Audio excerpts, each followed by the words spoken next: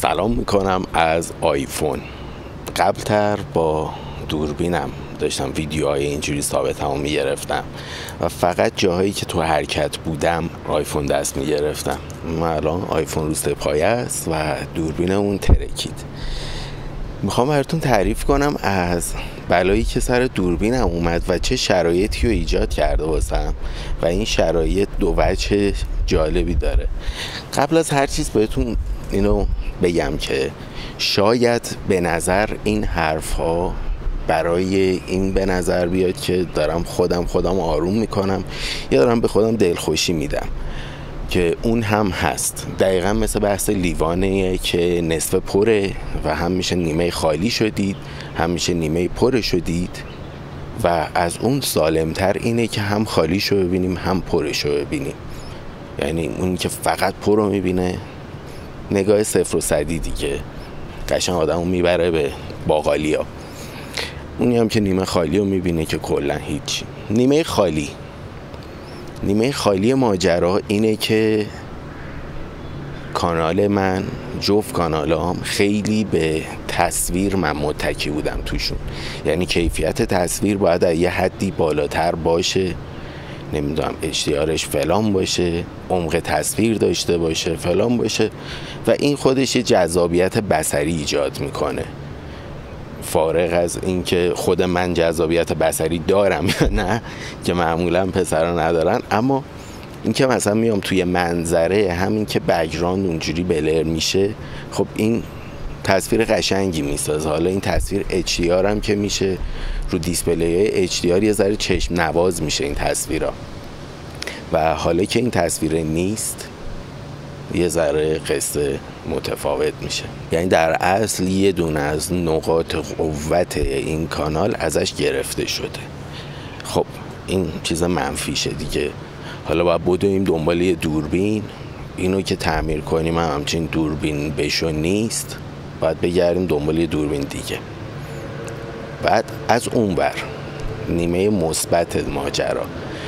دقیقا به همین دلیل که من خیلی متکیم به المان تصویر که تصویر خوب باشه فلان باشه و این منو راضی می‌کنه به همین دلیل الان که اینو ندارم باید بگردم و المانهای دیگه ای بیارم برای جذاب کردن ویدیو هم حالا نه صرفا این ویدیو ولی کلا باید بشنم فکر کنم یه راه دیگه پیدا کنم برای جذاب کردن ویدیو هم لزوما دیگه صرف یه دوربین و یه تصویر و چهار تا کار تکنیکی بلد بودن کار جمع نمیشه. یا حداقلش تو ذهنم کار اوکی نمیشه با همین چیزا. و باید برم یه چیزی اضافه کنم بهش. خب این خیلی خوبه. از این نظر خیلی هم داره حال میده که افتادم توی چالش که حالا باید یه جور دیگه این خلا رو پر کنم. حالا با آیفون فیلم بگیرم. ببین واقعیت اینه که به من آشغال ترین دوربین دنیا رم بدی محتوامو تولید می‌کنم. یعنی اونجوری نیست که من باید کیفیت تصویرم فلان باشه حالا که نیست تعطیل. تعطیل یعنی مرگ. حالا مثل این میمونه که پا شکسته میگه من کلا دیگه نمی‌خوام زندگی کنم. اوکی دوباره خوب میشه دیگه در میاد. همون دوربین خودش با درآمد یوتیوب خریده شده و باز هم میشه خریده بشه بهترش هم میشه خریده بشه. خلاصه هم از اون ور میشه دید که وای به چخ رفتیم هم از این ور میشه دید که چه فرصت طلاییه و چالش جالبیه. چرا که نه؟ قشنگ خودمو در معرضش قرار میدم ببینیم چه شکلی میشه. خودم فکر کنم خوبه. یعنی حتی اگه نتیجه خاصی هم نگیرم قرار نیست بهتر از قبل چه من دارم با کیفیت پایین تر چیز می‌کنم. اما یه چیزایی داره به من اضافه می‌کنه. یه سری چیزا رو مجبورم که امتحان کنم. یه تلاش های مضاعفی بکنم که در نهایت چهار روز دیگه که من دوباره دوربین دیگه گرفتم این تجربه که کردم شده توشه راهم. به تجربه هم اضافه کرده به علمم اضافه کرده توی این مسیر. و لزوما قرار نیست اتفاق بدی باشه. شد شد دیگه. هرچه پیش آید خوش آید. واقعا هم همینه. یعنی اومده خب حالا از این چی می‌تونی در بیاری؟ تاوانشو که دادیم یه دوربین رفت. چی میشه در آورد ازش؟ اون درسایی که میده. مثل بقیه مشکل مثل بقیه داستانهایی که برای اون پیش میاد و اهل نظر باشیم می‌تونیم ازش درسای جالبی بکشیم بیرون. حالا این همین جوری صرف نگاه اول اینه که یک دوربین DSLR تو نباید ببری تو رودخونه. دو وقتی دوربین DSLR تو می‌بری تو رودخونه در کیف تو ببند. اینکه یه سه‌پایه monopod ی چیزی سیخکی کیف زده بیرون نمی‌ذاره در بستشه اون monopod ه رو حذف کن. اون کیف مقاوم بود نسبت به آب ولی اصلا حواسم نبود که بابا درش بازه. قشنگ مثل این سطل لاستیکی ها رفت تو آب کشیدمش بیرون توش پر آب بود. خلاصه این چی درس های اولیه که آدم می‌گیره که خب واضحه. حواسم نبود سوتی دادم. حواسم به خیلی چیزای دیگه هم نبود. مثلا جایی که زیر آفتاب بودیم کلا سرم بود و از اینجا اینجوری سوخته به پایین. با اینکه اصلا من تو ذهنم این بود که ما آفتابی نمی‌بینیم به اون صورت. ولی خب دیدیم. سوتی پیش میاد. شد تموم شد رفت. نه سرزنش داره نه هیچی. اما اصل درس این نیستش که دی تو تو رودخونه نبر. اصل درس این برای ماجراست. که حالا تو شرایط جدید باید اونو جبران کنی.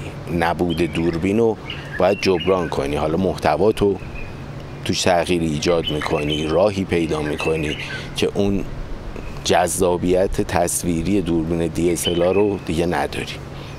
یه راهکاره آدم باید واسش پیدا کنه و همیناست که کارو واسه من شیرینم کرده. یعنی خیلی استقبال دارم می‌کنم ازش. شاید الان ببین یه دوربین دیگه هم هستش با اونم میشه فیلم گرفت. یا شاید همین دوربینه رو بیفتم دنبالش بتونم تعمیرش کنم. حالا شاید اون کیفیت اول نداشته باشه ولی بهتر از موبایل خواهد بود قطعا. ولی خودم هم استقبال می‌کنم از این اتفاق که اتفاقا یه مدت بیام بدون دوربین ویدیو درست کنم بدون دوربین لنز خور منظورم و یعنی آیفون هم دوربین داره. خلاصه اتفاق میان و میرن. اصلا مهم نیست. و تو بالا پایینی هم که ما تو زندگی دیدیم و خواهیم دید این اتفاقا گمه. حالا درست مهمترین ابزار کارمه ولی گمه. چهار تا چیز حالا فرصتی پیش اومده چیزای جدید رو تجربه کنم دیگه. چرا که نه. خیلی اتفاقا رو میشه واقعا اینجوری دید. و وقتی تو فکرم که چجوری جایگزین کنم چجوری این خلاه کیفیت تصویر رو به چیز دیگه پر کنم خیلی منو می‌بینن و میگن ناراحتی بابت دوربینه. در واقع اینه که تو فکرم بابت وضعیت جدید و ناراحتی نیست واقعا. یه فرصتیه که می‌دونم هرچی بیشتر بهش فکر کنم هرچی بیشتر براش وقت بذارم دستاوردهای بیشتری ازش ور میدارم و این خیلی ارزنده است واسم. بیشتر از این سرتون درد نمیارم. مراقب خودتون باشین تا پادکست بعد خداحافظ.